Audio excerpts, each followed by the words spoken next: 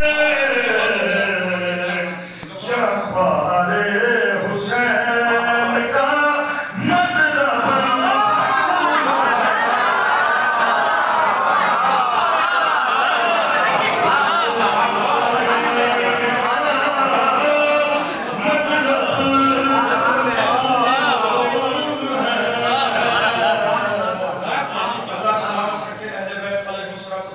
सदक़े में उन लोगों के जिन्होंने इस मस्जिद के लिए मुआवनत की है।